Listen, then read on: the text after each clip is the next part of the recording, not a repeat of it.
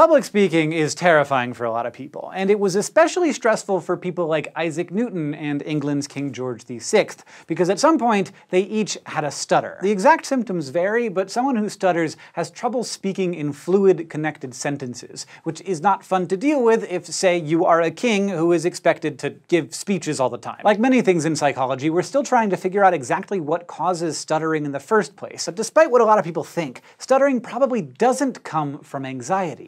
Usually starts in kids between 2 and 5 years old. It's possible to develop a stutter as an adult, but that's usually because of an injury or other condition. It doesn't normally show up by itself like it does in kids. The main symptom is the repetition of sounds and syllables, usually just one syllable, and that's often the first syllable in a longer word. There are other symptoms that can be harder to identify, like the lengthening of sounds, verbal or facial tics, or pauses in speech. One thing that can make stuttering hard to diagnose is that little kids often show these same speech patterns when they're learning to talk. It's normal for a kid to trip over words or get stuck on certain sounds, especially if their mouth can't keep up with what they're trying to say, and up to 20% of kids will show symptoms that look like stuttering. But by the time they're 4 or 5, 75% of them will have outgrown it. If someone is still stuttering by then, and if it's enough to disrupt their life or make them anxious, they'll likely be diagnosed with childhood onset fluency disorder, the official name for stuttering. We don't know why some people outgrow their symptoms, but we do know that people don't start stuttering because they're shy or nervous. Being shy or nervous can make symptoms worse and can start a vicious cycle because then you get more stressed and stutter more, and then you get even more stressed. But people who manage their symptoms score about the same on anxiety tests as people who never stuttered, so scientists are pretty sure that it's not the root cause. It's more likely that genetics is involved in some way. You're three times more likely to stutter if you have a family member who also stutters. It's also more common in boys than in girls, which is why some geneticists used to think it might be linked to sex-specific chromosomes. But we now know that that's probably not the case. Newer research has found that mutations on other chromosomes, like chromosome 12, could be responsible. When researchers studied a group of families in Pakistan with a high concentration of people who stuttered,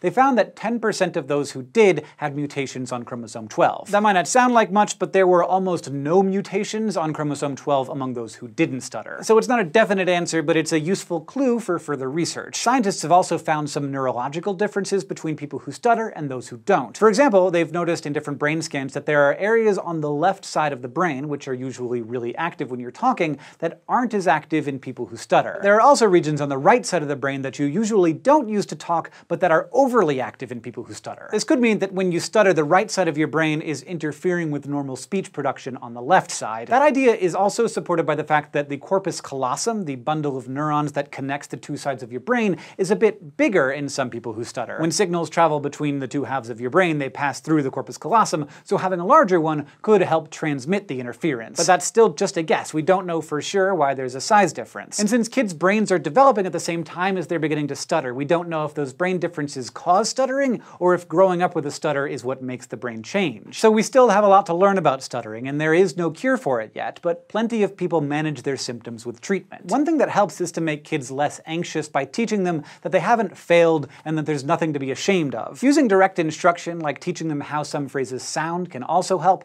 but another useful tool is to slow down the conversation. That way, the kid can get more comfortable with simpler or slower sentences and then work their way up to more complicated ones. The best treatment depends on the person, but there are a ton of ways to make stuttering less stressful and more manageable. It's too late to help Newton, but as psychologists and neurologists do more research, we're starting to be able to help more of today's stutterers. Thanks for watching this episode of SciShow Psych, which was brought to you by all of our patrons on Patreon. If you would like to support this show and keep exploring all kinds of things about our brains, you can go to patreon.com slash scishow, and for new videos every week, you can visit youtube.com slash scishow psych and subscribe.